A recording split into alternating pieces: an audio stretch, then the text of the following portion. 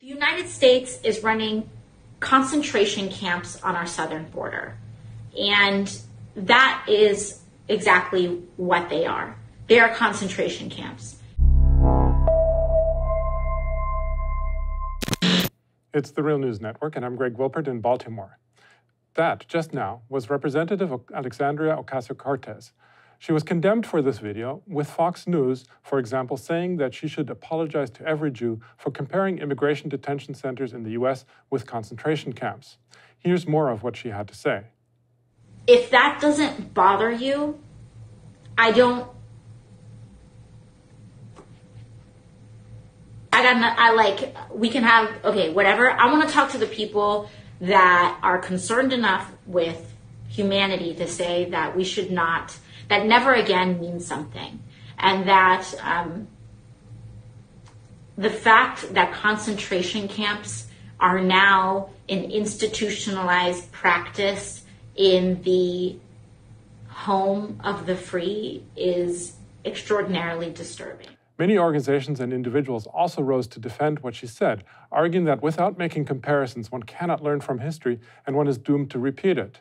The Jewish Voice for Peace a US based progressive Jewish organization with tens of thousands of members, published a short statement reminding people that Alexandria Ocasio Cortez was sharing an article from the men's magazine Esquire, which quoted journalist and concentration camp expert Andrea Pitzer, who said, quote, there have been concentration camps in France, South Africa, Cuba, the Soviet Union, and, with Japanese internment, the United States.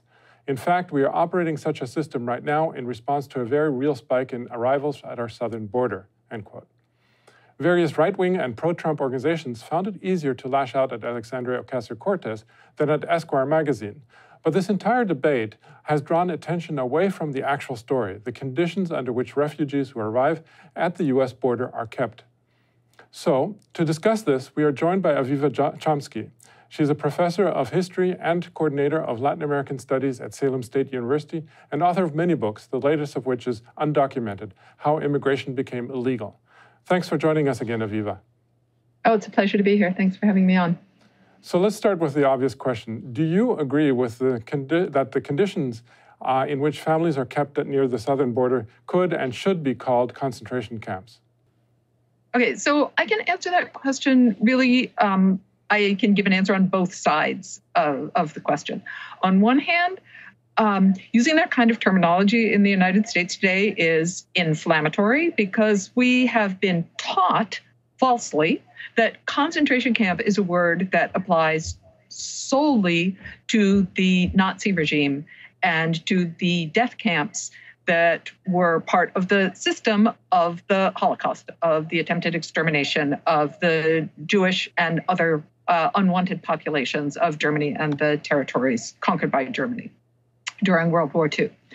Um, but on the other hand, we can also say that this is a very uh, strategic and um, propagandistic use of the term concentration camps because the term concentration camps uh, broader meaning than that. That is, the Nazi death camps are one exa- historical example of concentration camps. But concentration camps have existed in many different places. Basically, what a concentration camp is, is a place where a governing power concentrates a, civ- civilian population um, that has not been accused of or committed any crime, but uh, rather imprisoning people, concentrating people, um, not because they have been imprisoned for and and judged and charged uh, for committing a crime, but rather simply because of who they are, removing them from their where they want to be and forcing them to live in some kind of a prison camp, where the reason that they've been have been imprisoned is because of who they are. Now, this has happened over and over again in world history and in US history, um, the Nazi death camps being only one histor- historical example of the, some of the examples we might even learn about if we're studying US history in a mainstream uh, high school classroom. Um, for example, during the Spanish American War, when the or the Cuban War for Independence, when the Spanish were trying to reconcentrate the Cuban population, take the Cuban population out of the areas where they lived and imprison them in these huge concentration camps, prison camps. And some of the US propaganda trying to justify the US entry into the Spanish, into the Cuban War of Independence, which we then came to call the Spanish American War, um, was because of the Spanish policy of removing civilian populations and concentrating them in prison camps. Um, so the United States, in that case, denounced the policy. We did the same thing in the United States with the Japanese American population during World War II. And at that time, US government officials, uh, the Supreme Court openly called the Japanese internment camps concentration camps because civilians were being removed from their homes and concentrated in prison camps, not because they were being imprisoned for a crime, but simply because of who they were. So, so civilian populations being concentrated, imprisoned in prison camps. They were not prisoners of war. They were simply imprisoned in these camps because of who they are. So the same thing is happening with immigrants who are being detained at the border. Um, they are being detained because of who they are. And they are being concentrated in these camps where they are not allowed to leave, um, where they have not been accused of a crime. Um, they're civilians. Um, many of them are women and children. They're not prisoners of war because we're not at war. They're not prisoners because they um, are not being processed by the judicial system or have not been processed by any judicial system. They are simply being concentrated in these camps. And in that respect, very much, these are concentration camps. Now, as someone who has studied this uh, U.S. immigration system, what do you think is the most worrisome or perhaps illegal aspect of keeping refugees under such conditions uh, in these detention centers or concentration camps? And what do you think needs to happen to change uh, the system and to address the concerns that you might have? Well, that's a really big question. um, so, the United States has always uh, cl- made claims about liberty and justice for all, about uh, uh, equal rights for all. And those claims have always been false because there have always been exceptions. So when we use the word all in our legal system, in our Constitution, in our Declaration of Independence, we don't really mean all because we always exclude certain groups of people. Um, these people have not always been immigrants. In fact, during a much of US history, immigrants have been the privileged classes in the United States because the uh, uh, exclusion was defined by race, not by immigration status. Now, in the late 20th century, when many of the immigrants are racially defined as different, they are racialized.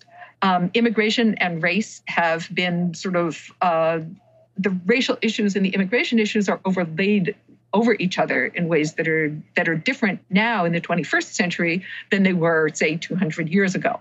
Um, but the fact that certain people are racially excluded has been a fact during every single moment of this country's history since 1608. Um, so, what's wrong with that? Well, we all know what's wrong with that. Discrimination is wrong, exclusion is wrong, unequal treatment under the law is wrong. But that's exactly what our immigration system does. Um, another piece of this puzzle that we need to understand is that most of the refugees who are being incarcerated in these concentration camps today are people who are fleeing places like Central America, especially the northern triangle of Central America, the countries of Guatemala, El Salvador, and Honduras, where the United States has been deeply, deeply involved to the for for over hundred years, uh, to the extent that we can barely call them separate countries that is their politics has been so influenced by the United States military intervention, economic intervention, political intervention um, to say, well, oh, those are just countries over there that have nothing to do with us and these people don't belong here. Well, that denies the entire history. The United States would not be the United States without its interventions in Central America and the uh, the U.S. companies that have been involved and continue to be involved in Central America, the minerals that we have extracted from Central America, the agricultural products that we have extracted from Central America, the maquiladoras, the clothes that we wear that are produced in Central America, the U.S. companies that are profiting off of this exploitation of Central America.